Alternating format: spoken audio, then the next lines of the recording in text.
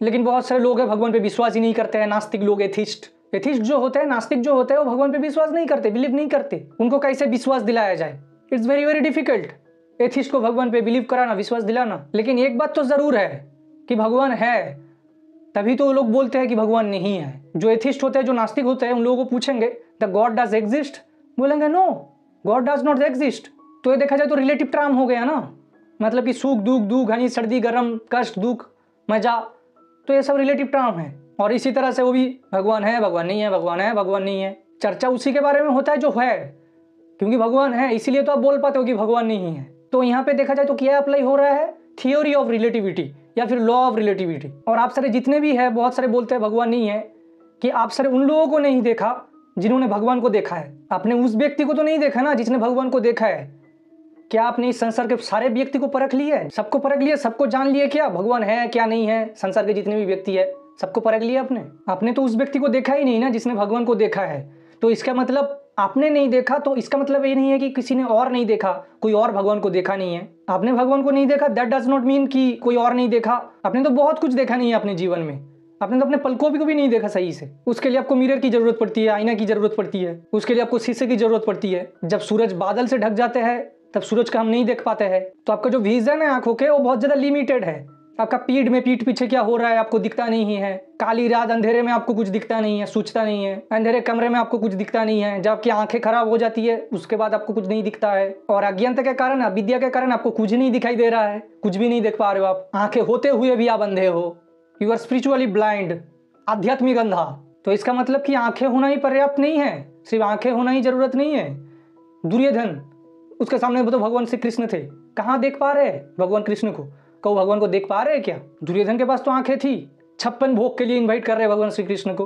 लेकिन उद्देश्य कुछ और है कि हमारे पक्ष में आए, हमारे साइड में आए, पांडु के नहीं, कौरव के संग में रह के युद्ध करेंगे। आइए आइए, वसुदेव, छप्पन भोग बना के रखे आपके लिए, चखिए। तो व्यक्ति जब तमोगुण में होता है, तमस होता है उसके अंदर ज़्यादा तो अज्ञानता में होता है, अविद्या में होता है। माया का प्रभाव उसके ऊपर बहुत ज़्यादा होता है। तो वो नहीं पहचान सकता कि भगवान कौन है। साक्षात उसके सामने खड़े रहेंगे, उसके इर्द गिर्द घूमेंगे, बैठेंगे, उसके साथ संग भी करेंगे।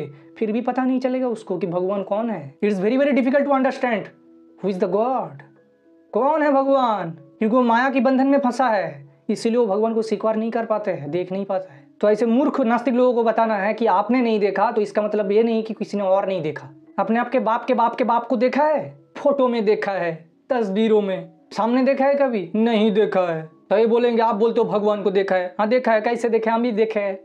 फ़ोटो में देखे है, विग्रह में देखे है, भक्तों में देखे है। आपका परदादा था, टिकट कट लिए। लेकिन इसीलिए उसका फ़ोटो है, वो था। भगवान भी है, इसीलिए उनकी विग्रह है, फ़ोटोज़ है। अगर आपका परदादा नहीं था तो आप कहाँ से आ गए? मतलब कि वो एग्जिस्ट नहीं करते थे। तो तुम कहाँ से पैदा होगी भाई? परमात्मा है, इसीलिए जीवात्मा है। और मान लेते आपका परदादा नहीं भी था तो आप किसी फ़ोटो वोटो बना के दूसरे को दिखा देंगे, ये लो मेरे परदादा तो मान लेंगे बुद्धू लोग। लेकिन हम ऐसे नहीं है, हम कैसे मान रहे हैं कि भगवान, यही भगवान की चित्र है, फ़ोटो है, यही भगवान की विग्रह है।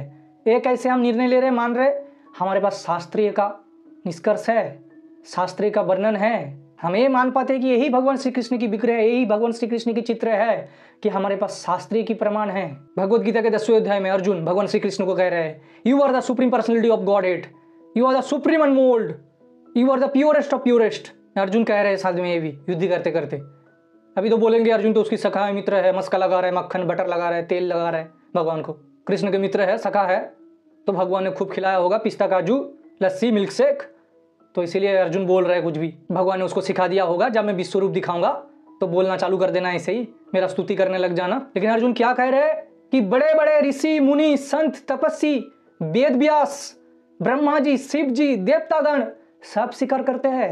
As the supreme personality of Godhead सब भगवान श्री कृष्ण को परम भगवान बोल के स्वीकार करते हैं। जब आप कोई साइंस की बातें करते हो तो आप बड़े बड़े साइंटिस्ट जो होते हैं, उनकी बातों को क्यों कोट करते हो? उनकी नाम क्यों लेते हो? आप न्यूटन को कोट करते हो एल्बर्ट आइंस्टाइन को कोट करते हो। अगर वो आपके अथॉरिटी है तो हमारी भी अथॉरिटी है। साइंस का अथॉरिटी अगर आप कोट करते हो बड़े बड़े साइंटिस्ट के नाम लेके तो हमारी भी अथॉरिटी है। बड़े बड़े ऋषि, मुनि, तपस्वी, जितने शास्त्रों, धर्म ग्रंथ की रचना की है। ब्रह्मा जी, शिव जी, पुराण आदि शास्त्र, वेद वगैरह में आते हैं उन लोगों के वर्णन। वो हमारे अथॉरिटी है। वो विश्वास दिलाते कि भगवान श्री कृष्ण परम भगवान है। और ये सब बात क्या है? सबसे बड़ी प्रमाण भगवत गीता है, श्रीमद भगवत गीता, जो स्वयं भगवान की मुखार बिंद से निकला है।